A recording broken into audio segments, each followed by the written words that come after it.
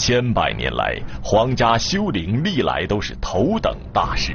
规模宏大的帝王陵墓，不仅代表了当时文化艺术和建筑技艺的最高成就，也是皇家威严和等级观念的体现。根据研究，汉阳陵历时二十八年才建造完成。今天的汉阳陵早已不是当年的原貌，但高大的封土和严整的形制依然令人们惊叹。汉阳陵当年的宏伟规模可见一斑。然而，在建筑工艺并不发达、建筑工具异常简陋的两千多年前，这个规模浩大的国家一号工程究竟如何完成？从选址到修建，又有哪些严格的制度呢？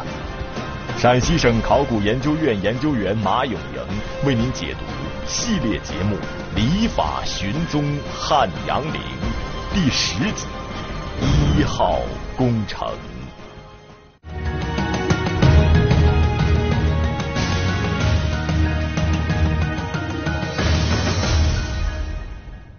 观众朋友，大家好，欢迎收看法律讲堂。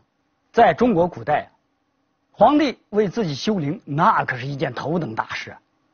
帝陵工程可以说是当时国家的一号重点工程这是有一套严格的程序和制度的。可是，这么重要而浩大的工程，咱们古代的史书啊，却几乎没有什么记载。为什么呢？其实很简单，保密。他为了防止泄密被盗墓贼利用啊，一般是不允许有记载。西汉的帝陵制度呢，是从汉高祖的长陵开始的，到了第四代皇帝汉景帝的阳陵。作为封建国家一项重要的礼仪制度，西汉的帝陵制度已经基本上成熟定型了。那么，在建筑工艺和工具都不发达的两千多年前，这个国家的一号重点工程是怎么修建的呢？透过汉阳陵，我们对帝王陵墓制度到底能有哪些了解呢？对于汉景帝杨陵，无论是《史记》还是《汉书》，都只有只言片语的零星记载。《晋书》里边呢，倒是有一段关于西汉帝陵的记载。可是这段记载呀，又读起来让人有点困惑。为什么呢？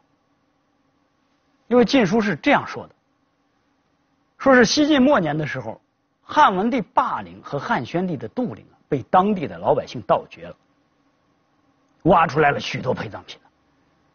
西晋当时的皇帝晋敏帝就问大臣索林。汉陵中物何乃多也？这西汉帝陵里边怎么这么多东西啊？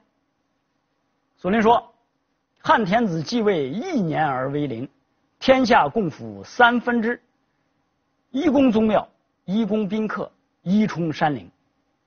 他的意思就是说啊，汉代的皇帝啊，继位一年之后就开始修建自己的陵墓了。国家的总税收啊，分为三份一份呢供宗庙祭祀。一份供皇帝招聘人才的开销，剩下一份呢是用来修陵的。我们注意这段君臣对话，告诉了我们两个信息啊。其一，西汉帝陵的营建时间是皇帝继位一年之后开始的，也就是他在继位之后的第二年就开始修建自己的陵墓了。其二，修建帝陵的费用是国家。税收的三分之一呀，那么实际情况真是这样子吗？我们都知道，汉文帝和汉景帝可都是以节俭著称的好皇帝啊。那汉景帝的阳陵，他的修建真的就这样铺张浪费吗？今天我们在汉阳陵能看到的。除了汉景帝和王皇后的两座高大封土外，还有两座嫔妃墓和十多座大臣的陪葬墓。而实际上，汉阳陵远不是我们现在看到的这个样子。根据考古工作，汉阳陵东西长近六公里，南北宽一到三公里，占地面积近十二平方公里。作为主体的汉景帝陵。位于陵园中部偏西的位置，王皇后陵南区外藏坑，北区外藏坑，一处建筑遗址等距离分布在四角。嫔妃陪葬墓和一座大型礼制性建筑位于帝陵南北两侧。刑徒墓地和三处建筑遗址在帝陵西侧南北排列。陪葬墓园位于帝陵东边的司马道两侧。杨陵邑设置在陵园的最东端。整个陵园以帝陵为中心，四角拱卫，南北对称，东西相连，布局结构规整而严谨，显示了唯我独尊的皇家威严和严格的等级观念。那么，在两千多年前，汉阳陵里又会是什么样的一番景象呢？汉景帝和王皇后的封土比现在要高大很多。当时的陵园呢，有很气派的圆墙和门阙建筑，墙面呢是朱红色的，就跟我们现在看到的故宫的外墙一样。这个大陵园里边啊，除了皇帝和皇后的陵园之外，还有很多建筑群，其中最重要、规模最大的就是专门用于祭祀的寝殿和灵庙建筑。当时的礼仪制度要求，守陵的这个嫔妃和宫女，每天晚上都要在寝殿里边铺被子。第二天早上要叠被子，准备洗漱用具，还要在吃饭的四个饭点上饭上菜，就像皇帝活着一样。除了这个祭祀建筑，还有管理陵园的官员办公的官署，守陵的宫女嫔妃居住的建筑。根据史书记载，当年皇帝陵园里边参与管理服务的人员呢，大约有五千多人呢。另外，从汉景帝陵啊。延伸而出的一条长达几公里的司马道啊，它的两边一字排开，是数百座的高级贵族和文武百官的陪葬墓啊。我们一路看过去，这仿佛又回到了当年天子上朝的时候，文武大臣是分列两厢的这么一个庄严的景象。这座浩大的工程，真的像晋人所说的要耗去每年国家税收的三分之一吗？我们先来看汉阳陵是从什么时候修建的。《史记》就记载说，汉景帝四年，更以宜阳为阳陵，就是把宜阳县改为阳陵邑了。就说汉景帝把宜阳县改为象征给他守陵的陵邑了。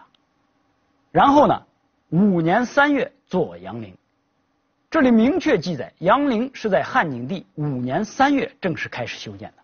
很明显。汉景帝的阳陵并不是他继位一年之后开始修建的。根据史书记载和学者的研究，西汉王朝的财政收入，每年大约有四十多亿钱。按照这个索林的说法，西汉帝陵营建每年花费大约十多亿钱。杨陵从开始修建到汉景帝入葬，长达十三年。这样子的话，他大约花费了一百三十多亿钱。那么这一百三十多亿钱，相当于咱们现在的多少钱呢？现在的一元大约相当于汉代的零点四六钱。这样算下来，杨陵所花费的工程款呢，大约是二百八十二点六亿元。这钱可是够多的。但是我个人觉得，杨陵呢，可能没有花那么多钱。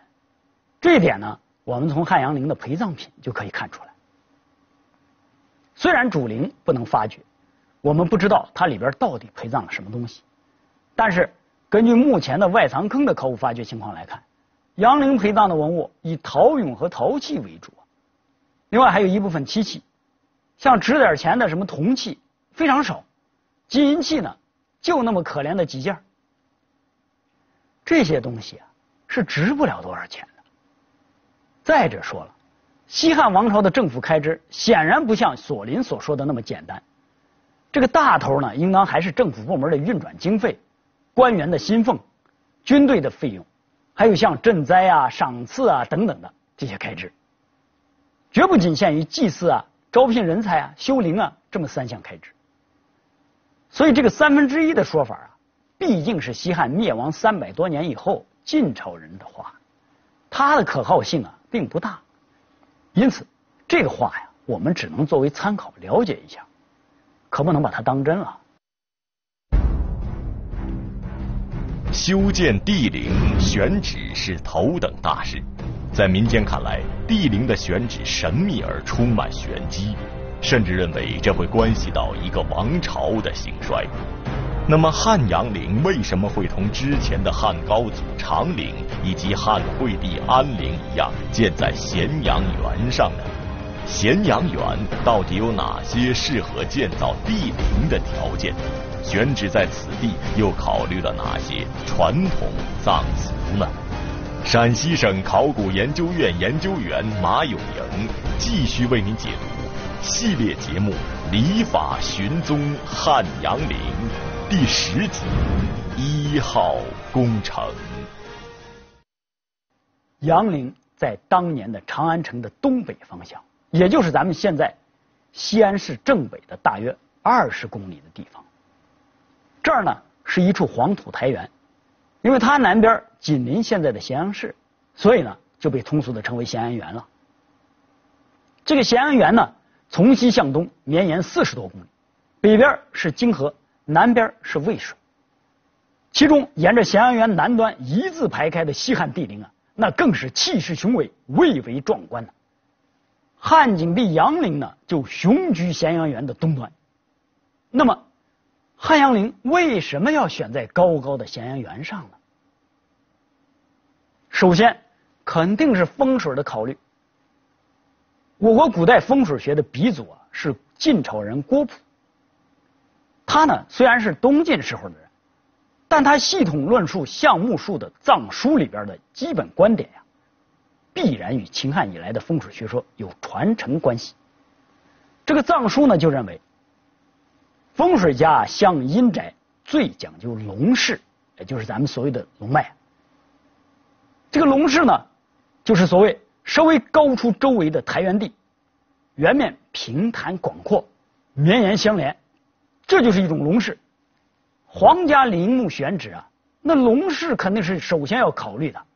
咸阳园呢，东西四十多公里，它相对高出关中平原，这个原面上是平坦开阔，正符合所谓的龙室。还有一个原因，就是西汉帝陵的墓穴都挖得很深，一般深达三十多米，所以呢，选址的时候就一定要选在地势高亢的地方。不然，就有可能挖出水来呀。咸阳园呢，地势很高，土厚水深，刚好可以解决这个问题。所以咱们汉景帝的这个杨陵啊，就选在了这个地方。除了风水的考虑，汉阳陵的这个选址啊，还受到了传统葬俗和当时的物质条件的影响和限制。在西汉之前呢，从原始社会开始，历经夏、商、周。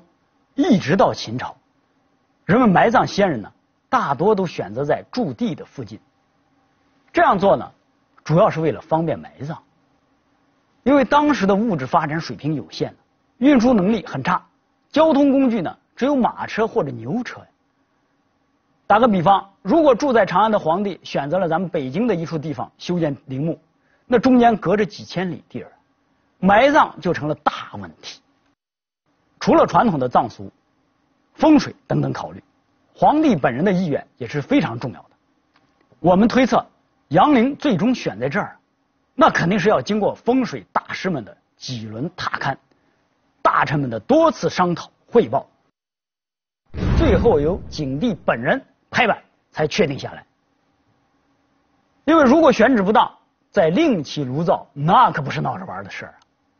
咸阳园地势高畅。视野开阔，又能遥望京城长安，可以说是一处理想的风水宝地啊。因此，这个地方就成为西汉皇帝的主陵区了。帝陵的位置确定之后，就要开始具体修建了。《史记》记载，秦始皇曾动用七十万人来修建陵墓，那么汉阳陵又是由多少人来完成的？史书中对此有没有什么记载呢？这个当时的国家一号工程是由什么人组织施工，又是由哪些人来具体完成的呢？《汉书》记载，说西汉的时候有一个官职叫将作大将，他的主要职责啊，就是专门给皇帝修建宫殿陵墓，相当于皇家的建设部长。那么帝陵工程里边啊，具体干活的又是些什么人呢？这个史书有记载，卒徒公庸以巨万数。这儿啊，就将帝陵建设者的身份呢说的非常清楚了，那就是士族、刑徒、工匠和故宫。庸呢，就是指的故宫。具体管理工匠和刑徒的官员呢，是在将作大将下属的左校令和右校令。这一点呢，在《后汉书》里边有明确的记载。既然管理工匠和刑徒有专门的官员和机构，这说明啊，工匠和刑徒啊都是帝陵工程建设的主要劳动力。那么，修建阳陵工程到底用了多少人呢？《史记》记载说，秦始皇征发七十万人修建他的陵墓。阳陵的规模呢，远不及秦陵，人数呢，肯定在这之下。可是史书呢，没有明确的记载。倒是关于其他西汉帝陵的一些记载呢，我们可以作为参考。汉景帝为父亲汉文帝的霸陵后期挖墓穴、回填、修坟堆就征发了三万多名士卒。西汉后期的时候，汉哀帝的母亲死了以后啊，挖墓修陵也用了五万多人。我们从杨陵刑徒墓地的考古发掘来推算，当年死在修陵工地上的刑徒啊，大概就有上万人。这样看来啊，西汉帝陵的用工人数啊，估计至少也应该有数万之众。据史料推测，修建汉阳陵的劳力达数万之多。那么是什么原因要投入这么多的人力呢？汉阳陵从开始修建到汉景帝入葬历时十三年，到最后王皇后入葬，总共历时二十八年。那么数万人修陵，为什么还会如此旷日持久？帝陵高大的封土代表着皇权的至高无上。那么西汉的帝陵葬制对封土规模又有什么明确的规定呢？陕西省考古研究院研究员马永莹继续为您解读系列节目《礼法寻踪汉阳陵》。第十集一号工程。西汉帝陵大量的是土方工程，汉景帝陵的封土啊，根据测算也有三十多万立方，再加上皇后陵的封土，还有两座中等规模的嫔妃陪葬墓的土方量，估计啊，应当有超过二百万立方的土方量。这还仅仅是陵墓啊，还有众多的外藏坑啊。杨陵大约是一百五十多座外藏坑，这些坑的土方量应该也是有数百万立方的。我们想啊，当年又没有工程机械，得靠人力一点一点的挖掘夯打。那挖土的工具啊，主要就是铁掘；铲土的工具呢是铁叉；夯土的工具是铁夯或者石夯。铁掘和铁叉呀，大部分还只是装一个铁头。后面那部分呢，还是木质的。我们在杨陵的考古工作中啊，就在外藏坑的填土里边发现了铁叉和铁夯头。这样的工具看着就笨重、不锋利、不好使，这劳动效率啊肯定是不会高的。这个情况啊，应当是西汉帝陵工程旷日持久的原因之一。那么修建帝陵按照什么顺序来进行呢？从这个史书记载的一些零星资料来看。当时陵址选定以后啊，应该是先建设陵邑。这个陵邑啊，其实就是在帝陵附近啊，建设了一个作为后勤保障基地的这么一个县城。这个在修陵的时候呢，它作为后勤保障基地。这个陵修成以后啊，这个陵邑啊，实际上是象征给皇帝守陵的这么一个县城。这个史书里边就记载说，阳陵呢，就是汉景帝四年。更以宜阳为阳陵，第二年才开始修建陵墓的。我们平常看到的汉墓啊，不是土洞的，就是砖砌的，这些都是臣民百姓的墓葬。那皇帝的墓葬又是个什么样子呢？根据史书的记载啊，皇帝的墓室啊还真不一样。它呢是用特制的柏木砌起来的，叫做黄肠题凑。黄肠题凑是用成千上万根柏木芯垒成一道厚重围墙的墓葬结构。因为所用木料都是柏木中心发黄的部分，所以叫黄长木。铸作方法是横向堆垒而成。由于墓室中能看到的都是这种特制木材的头部，所以叫题凑。黄长题凑是身份、等级和权势的象征，只有帝王和皇室成员、诸侯王才能使用。地位较高的贵族、大臣必须经过皇帝特赐才可以使用。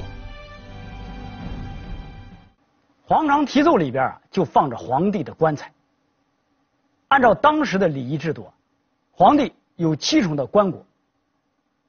当时皇帝穿着金缕玉衣啊。根据《西京杂记》的记载，汉景帝的儿子呢，汉武帝的御衣上刻着龙凤的纹饰，因此我们推想。汉景帝也有可能穿着这样的金缕玉衣。皇城题奏的外头呢，还专门隔出一个放置最珍贵的陪葬品的空间，叫便房。根据汉代的礼制，皇城题奏与子宫、便房、外藏椁，也就是通常考古发现的外藏坑，都是帝王陵墓专用的。皇帝的棺椁放好了，这下就该回填墓室。修筑封土了。秦汉的时候啊，就实行这种像山一样的封土。当时啊，为了衬托皇帝的高大神圣，甚至直接用山来指代帝王。那个帝王死了之后啊，称作山陵崩，就山塌了。汉旧仪就记载说，皇帝陵墓坟高十二丈。这个西汉初年的时候啊，吕后想为儿子汉惠帝增高陵墓的封土。结果呢是遭到大臣们的一致反对，吕后最后只好作罢。这样看来啊，当时为了防止像秦始皇一样滥用民力大修陵墓，西汉王朝啊是专门针对陵墓的修建工程制定了相关的法律和制度。即便是贵为皇帝，也不能逾越。阳陵呢，应当是严格依法而建的国家重点工程。因此呢，它是西汉帝陵的一个范本。此后的西汉帝陵呢，基本上都是按照阳陵这个模式修建的。帝王的陵寝建筑啊，是我国古代建筑的重要组成部分。它的这个形制啊，受到当时的思想观念、国力的强弱、营建技术等等的影响而发展变化。最早呢，由商周时期的不封不树，到秦汉时期的覆斗形的高大封土，再到唐代的阴山为陵。最后才到了明清时期的宝城宝鼎，它其实是历经数千年的演变，最后才形成这种规制的。可是时光飞逝，再宏伟的帝王陵墓，也不能延续帝王的长生之梦了。最终凝聚了千千万万工匠和劳动者智慧和血汗的帝王陵墓，变成了记录历代劳动人民。在科技和文化艺术上的创造和卓越成就的博物馆，成为我们了解那个时代社会生活和政治制度变迁的珍贵的文化遗产。好，感谢您收看这一期的节目，我们下期再见。一万多具尸骨集中出现在距离汉景帝陵只有大约一千五百米远的地方，他们的真实身份究竟是什么？他们和汉阳陵之间到底又有什么关系？明天的节目里，陕西省考古研究院研究员马永莹为您解读系列节目《礼法寻踪汉阳陵》第十一集：刑土墓地。